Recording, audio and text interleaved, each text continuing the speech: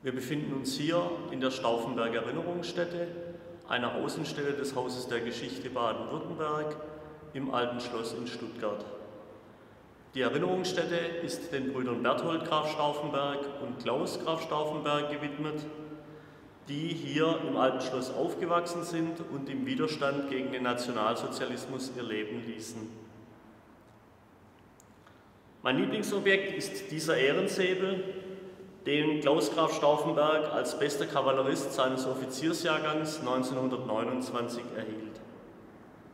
Diese Waffe trug er zu feierlichen Anlässen, wie zum Beispiel mit Uniform und Stahlhelm, zu seiner Hochzeit mit Nina von Lerchenfeld im Jahr 1933.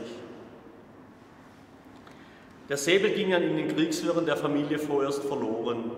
Erst 1999 erhielt die Witwe Klaus Graf Stauffenbergs den Säbel zurück.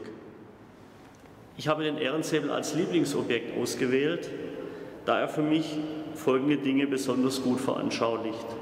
Er steht als einzige Waffe, die wir hier zeigen, für die kriegerische erste Hälfte des 20. Jahrhunderts. Außerdem steht er für den Offizier Stauffenberg, der als überzeugter Soldat unter militärischem Gehorsam gedient hatte.